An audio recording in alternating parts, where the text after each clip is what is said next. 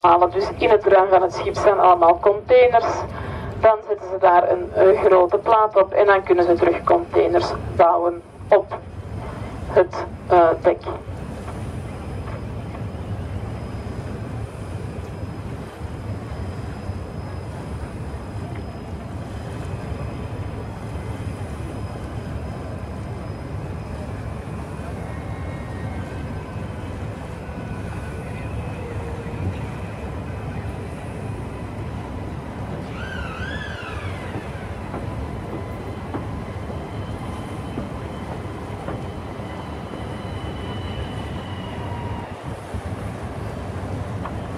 MSC Joy is niet zo'n heel grote van MSC, er zijn er grotere. Die, eh, deze is een Panamax, kan tot 4500 eh, containers meenemen.